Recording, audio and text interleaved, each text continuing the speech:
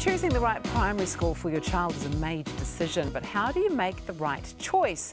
Joining us to give his advice is both a parent and a principal, Peter Crompton from Auckland's Ficino School. Good morning to you. Good morning. Uh, thank you so much for joining us. So first up, why is it so important to pick the right primary school? Well, a lot of parents think that the secondary school is the most important thing because that's where the exams take place. But actually, um, primary school is where the foundation's built. And if you don't build a strong foundation, then you've got nothing to work with at secondary school. Mm. So all the kind of learning habits are established at primary school, the love of learning, those sorts of things. That's we've got to establish that. So as a parent, what were you looking for when your children started primary school? Yeah, well, that's a good question. It's always, you're sort of thrown in the deep end as a parent. And um, uh, we were looking for to see how the how enthusiastic the teachers were and how they worked with the children and how they viewed the children. Um, also, just the um, I mean that interaction, that point where the teacher meets the child. That's the point where education really takes place um, but also um, getting the basics in, you know, the basics of reading, writing and maths, um, they're still really important in this digital age. Mm. And that relationship that your child has with their teacher, you're right, it is very important. You can really learn a lot in those first few, first few moments of meeting. Yes, absolutely. So where do parents begin with the researching to find a good primary school? Well, it's, it's so much easier today with the internet. So obviously the first place to go is the website. Um, go to a school's website and you'll find out lots of information there, but it's also worth taking a look at the prospectus because that's a kind of distilled um, best parts of the school and you'll see what they, what they really want to showcase.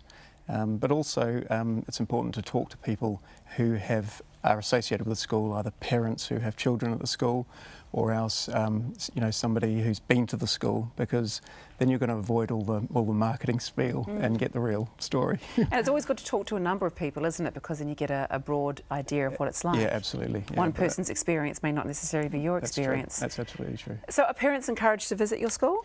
Very much so. Yeah. I mean, I think the most important thing when you're looking for schools is to go into the schools and get a feel for what they're like, see how the teachers interact with the pupils, see how the pupils interact with each other, and see how they interact with you as a visitor. All those things will um, give you a really good feel of what the school's like. Because you're right, as a parent, when you when you start this, you haven't had any experience mm. with schools at all. This no. is your first one, and no, it can feel like quite a big decision. It's massive. Do you, do you think kids should have a practice session at school? Yes, I think it's good for children to come into the school environment, but what you're mainly looking for is just to see that they're comfortable with it. Um, quite often today, parents say to the child, it's your choice, which uh, amazes me because a child just doesn't have the capacity to make that sort of decision. Uh, Certainly so, not five-year-olds. not yeah. five-year-olds. So really the parents need, it is their decision and they need to let the child know it's their decision because the, if they often they tell the child, oh, it's your decision. The child just wants to please the parent. So they'll say what the parent wants to hear, and mm. it's not going to be informed and it's not going to be uh, a rational um, view of things. And so. the child's not looking at the prospectus and going, yes, I think I'm going to have a solid learning environment there. They're just going, oh, that's a nice place, a play That's there. right, yeah.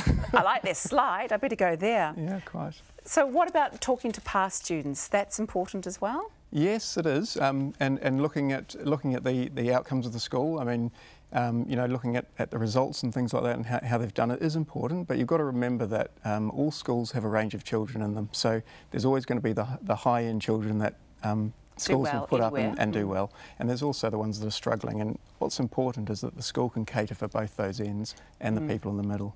And that's, and I think, something that parents who maybe have children that aren't in that very, very top level really need to know about too, don't yeah. they? How, how your school's going to actually help their children. Well, yeah. it's been a pleasure. Thank you so much for joining Thank us you. today. Very good advice. You can check out Ficino School's website. That's on screen right now for more information about choosing the right school for your child, as well as dates for an upcoming information evening as well and school tours.